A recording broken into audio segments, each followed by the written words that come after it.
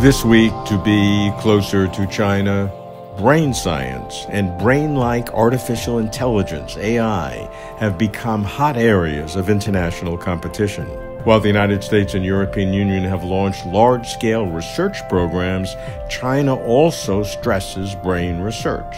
What's the current state of neuroscience in China? Neuroscience today, if I use one word, is developing very fast, um, perhaps faster than other areas. The China Brain Project is a key science and technology initiative of China's 13th five year plan.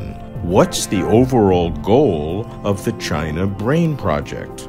Our center was exactly tuned to the one body, two wing structure to develop our research program. This week, be closer to China. Thank you.